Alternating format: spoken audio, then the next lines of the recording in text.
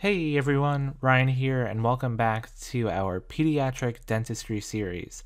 In this video, we will talk about dental trauma in children. So, first, let's go over a basic outline of traumatic dental injuries. We have our minor injuries, which include concussion, craze lines, enamel fractures, and enamel and dentin fractures. So these are our Ellis class 1 and class 2 fractures, and these minor injuries overall involve a low cost of treatment, minor interventions, have a good prognosis, and require just a short term follow up. Next, we have moderate injuries, which involve subluxations and enamel, dentin, and pulp fractures. So, fractures that are more complicated and involve the nerve of the tooth. These are our Ellis class 3 and class 4 fractures. So, moderate injuries, particularly this more complicated fracture, introduces a higher cost, more complex intervention. Typically, endodontic treatment is involved, like a Cvek pulpotomy, a full pulpotomy, or even a pulpectomy. It has more of a guarded prognosis and requires a longer term follow up. And then we have our major injuries, which are our luxations, intrusion, extrusion, and lateral luxation, avulsions, alveolar fractures, and crown and root fractures. So these are going to be our Ellis class 5 and class 6 fractures. They involve a high cost, major multi specialty interventions, have a reduced or poor prognosis, and require a long term follow up. So here are some great high yield facts to know for the board exam. Boys are more, more often impacted by dental trauma than girls. The maxillary anterior teeth are the most commonly involved. And an increased overjet that's greater than 6 millimeters specifically has a higher risk of dental trauma. So, children with increased overjet are more at risk because the upper teeth are way out in front of the lower teeth.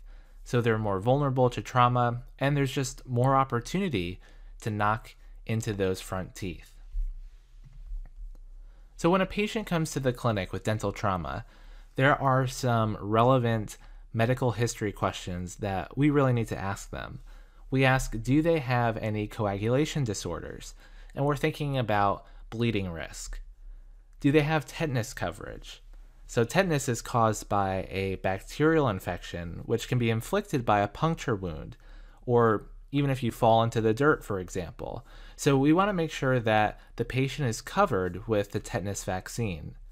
The active immunization is three Tdap vaccines, it covers tetanus, diphtheria, and pertussis, during the first year of age, a booster at 1.5, 3, and 6 years, and then every 4 to 5 years after that. So if they're uncovered, they really need to get a tetanus antitoxin. But if there's dated coverage, they can get a tetanus booster. We really importantly want to rule out a head injury. If they've had trauma, there's a good chance that they hit their head to some degree. So we perform some neurologic assessment of drowsiness, amnesia, and blurred vision. So you ask, how many fingers am I holding up to examine their state of consciousness? Want to check for their speech? Look at their eyes. Do they have ptosis or drooping of the eyelids? Is there any dizziness? Do they feel nauseous? Are they vomiting? Do they have any sort of amnesia? Do they remember what happened? And if they have any of these signs, tell them that their teeth are minor and to go to the ER to get tested for a head injury, which can be much, much more serious. And regardless of the severity of the injury, we would like to see them for follow ups, ideally one, two, and six months after the incident to check in on the healing and how they're doing afterwards. All right, so let's go into a little bit more in depth on some of the specific injuries that we talked about before. So we have concussion and subluxation of primary teeth. Concussion is where the periodontal ligament becomes sore, the tooth was knocked into, but the tooth wasn't displaced and there's no increased mobility. Subluxation is where the PDL actually rips and bleeds.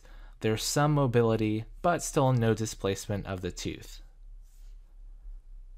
So we really, in this situation, just want to let the tooth rest. Any kind of splint is really overkill for a primary tooth, so no treatment is typically recommended. But we would recommend the patient to maintain a soft diet, to let those teeth rest and relax, not biting into anything really hard like a whole apple or something like that. We want to reinforce good oral hygiene. It might be a little bit sore, but we still want them to take care of their teeth and teeth with open apices are more likely to remain vital after this trauma. And that's kind of true for any situation. If we have any sort of trauma, typically a tooth with an open apex that hasn't completed development has a better chance of remaining vital. That goes for permanent teeth as well. And follow ups, as we mentioned before, one to six months might be a little bit overkill for more of a minor injury like concussion, but if you're at subluxation level, it's probably a good idea to maintain that follow up regimen. All right, so next we have intrusion of the primary teeth. This is apical displacement of the tooth into the socket. So primary anterior teeth are typically positioned labial to their permanent successors. We can see that in this image here.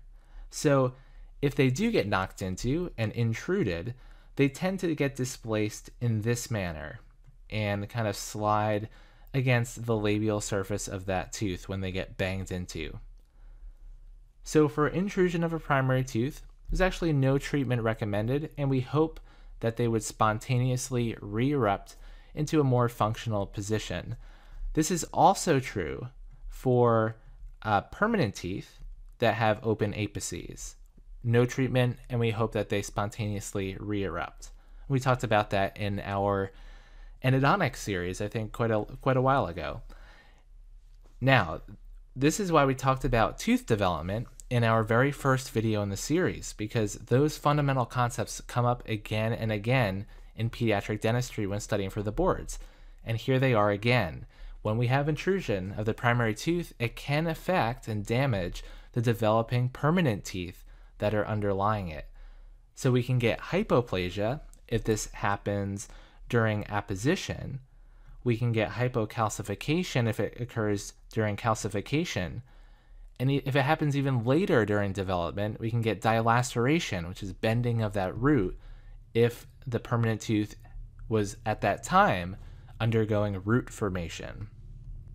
So that's pretty neat. We can imagine that if you bang into the permanent tooth in this way that permanent tooth developing bud with the developing root gets bent as it gets knocked into, and then the root just kind of is permanently bent in that direction. So it kind of makes sense depending on where you're at in the tooth development cycle, what will happen as a result of the trauma. So follow ups again are going to be recommended. Now, what about the opposite? What if we have extrusion of the primary tooth? That means that the primary tooth has been partially extruded out from the socket, as we see here. So the greater the distance of luxation, the greater the chance of severing the apical vasculature and having, as a result, pulp necrosis. If the tooth is extruded more than 3 millimeters, we actually recommend extracting and then maintaining space for that primary tooth. But if the patient is seen before formation of a periapical blood clot, we can reposition that tooth carefully, place a flexible splint for about one to two weeks, and then perform any endodontic treatment that might be necessary at that time. Then again, follow ups would be recommended as well. Now, what if the tooth is avulsed? So that means the primary tooth has been completely separated from its alveolus and it's now out of the mouth. So replantation of a permanent tooth is typically what you'd want to do if it has been not too long after the traumatic incident. But replantation of a primary tooth has a particularly poor prognosis. If it's been less than 30 minutes of what we call extra alveolar dry time. That's the amount of time a tooth has been outside of the mouth and not in some bathing solution like saline or milk, for example. So that's if it's less than 30 minutes that it's been dry out of the mouth and out of solution, we could attempt to replant it, place a flexible splint for one to two weeks, and then we would recommend the patient to maintain a soft diet, take some a course of antibiotics, and undergo endodontic treatment once that tooth has been in position for a little while and seems to be uh, regenerating the periodontium and everything like that just fine. It's most likely going to need some sort of endodontic treatment for sure. If it's been greater than 30 minutes outside of the mouth, though, we really have no other option, unfortunately, other than keep the tooth out of the mouth and then maintain that space as needed for the per- permanent tooth to come in. Of course, the good news here is that maybe the tooth was knocked out and that permanent tooth is just ready to come in already, in which case we really don't need to maintain space and that crown will take the space just fine. Okay, so let's take it up a notch. What if we have crown fracture of that primary tooth? So we can see that it could be a little bit more of a minor fracture just involving enamel or dentin. But again, remember the enamel of the primary teeth is thinner and the pulp is relatively larger. So the chance that you're going to have a crown fracture that involves pulp is going to be greater in a primary tooth. If it's just enamel that's involved, we can smooth that out to the patient's comfort. Enamel and dentin, we can restore it to their aesthetic and cosmetic liking. If it's enamel, dentin, and pulp, though, we're going to need some sort of endodontic treatment if we want to maintain that primary tooth. Pulpotomy if it's vital, pulpectomy if it's non vital, and extract if there's pathologic root resorption that we're noticing in the x rays. So, this is kind of harkening back to our primary tooth treatment video. We talked about that a series of things we need to consider and kind of directs us to these three options. So, little nice for a review there. And then we can have root fracture of that primary tooth. This is actually pretty rare due to the malleability of the bone in a young patient. So it's more likely that we're going to have some sort of crown fracture, something coronal happening than apical, which is good news. So typically, if we do have a root fracture, if it's in the apical half, so if the fracture occurs in the apical half of the root, we would recommend no treatment and just let that root tip resorb physiologically as that permanent tooth comes in. But if the, the fracture is in the coronal half of the root, then we could consider some sort of rigid splint to hold that coronal portion of the tooth in place. Or we would recommend extracting that tooth and again maintaining space depending on where that underlying permanent tooth is. All right, so what can we do to prevent this stuff from happening? Mouth guards are incredibly helpful in preventing the frequency and severity of dentoalveolar injuries, and it's really true. And there are a couple different options um, for for getting mouth guards. I highly recommend them for kids who play contact sports Uh, contact sports specifically, and especially if they're unsupervised, the risk of having some sort of traumatic injury is pretty high. Again, especially if they're going to have that overjet of greater than six millimeters. So you can take you can use a stock mouth guard that's available at sporting goods stores on Amazon, and they're relatively inexpensive. That's just kind of something that it's made to one size and hopefully it fits not really the best option. So one step up from that would be the mouth formed mouth guards. These are also available at sporting goods stores, and you could probably find them on online retailers as well. They have the boil and bite versions. That's where they're softened in hot water. You kind of boil this water, you throw it in, it gets soft, and then you try it in your mouth and mold it to your teeth one really important thing to note with these boil and bite ones is never use them when you have braces on because if you bite into them while they're boiling, while they're really, really, while the plastic is really, really hot, you're gonna melt the the rubber ligatures around the brackets to the mouth guard, and it's gonna be a big mess. So definitely, that's one thing you don't want to use if you have braces on. You can also get a shell mouth guard, so that's where you have a firm outer shell and then an inner liner that's softer of ethyl methacrylate. And lastly, of course, the best thing would be something that's custom fit to your child's mouth.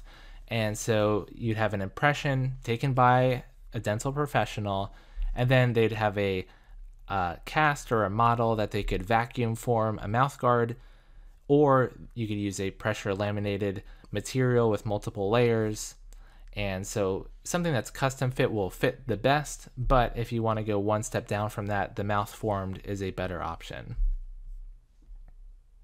Uh, certainly a better option than the stock mouth guard. All right, so this is just a brief review of root resorption. We've talked about this in uh, several of our other series, but we have our internal root resorption where the odontoblastic layer in the pulp is damaged, and we have our external root resorption where the cementoblastic layer in the PDL has been damaged. So root resorption I mentioned pathologic root resorption is certainly something that could happen if a child or any patient for that matter experiences a traumatic dental injury. There are various different forms of external root resorption. There's surface replacement, which is essentially ankylosis. We have inflammatory, cervical, and apical. You can feel free to read through those. Nice definitions to know for the board exam. And lastly, we have child abuse and neglect. And unfortunately, this is something that happens and can be a cause of traumatic dental injuries. Child abuse occurs uh, in all socioeconomic levels, and about 30% of abused and neglected children will later abuse their own children. So it's a really unfortunate cycle and ages 0 to 3 are most commonly abused or neglected. And the types of abuse to know for the board exam are physical, which involve intentional injuries, emotional, which involves denial of affection or isolation, so that's also a form of abuse, and neglect, which is willful negligence to provide basic needs of a child. So, for example, if parents or caregivers aren't or are refusing to bring their patients, their, their children in for dental exams when they know that they need to have regular dental checkups.